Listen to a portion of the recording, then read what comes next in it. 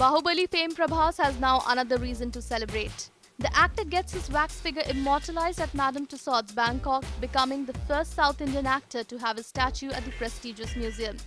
Trade analyst Ramesh Bala broke the news on Twitter and posted an exclusive picture of the star's wax statue. Wax statue of Prabhas as Baahubali at Madame Tussauds, Bangkok. First South Indian actor to have a statue at museum he posted. Besides him, other cinema personalities who have their statues there include Shah Rukh Khan, Salman Khan, Amitabh Bachchan and Aishwarya Rai Bachchan among others. On a related note, the Prabhas starrer magnum opus Baahubali 2 The Conclusion has reportedly crossed a whopping rupees 500 crores in just three days.